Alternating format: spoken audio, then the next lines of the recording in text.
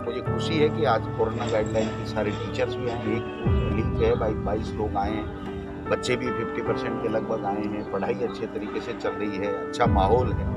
ये चीज़ देख करके बहुत अच्छा लगता है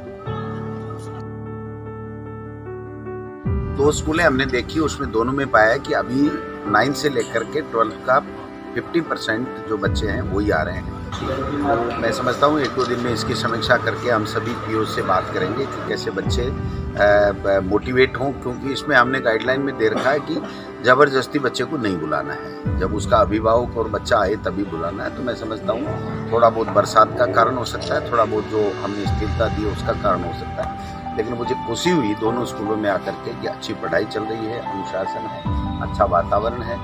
अभी जो देखा कि एक प्रिंसिपल का रूम और ये जो लेब है, ये दोनों बिल्कुल ख़राब हैं।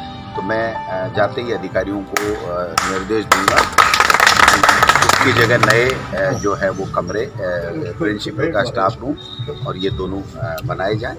तो मैं समझता हूँ कि जो शिक्षा विभाग में क्वालिटी एजुकेशन हिंदुस्तान में नंबर वन आए, उसका सपना हमारे टीचर्स अभिभावक और बच्चे मेहनत करके वो अचीव करें।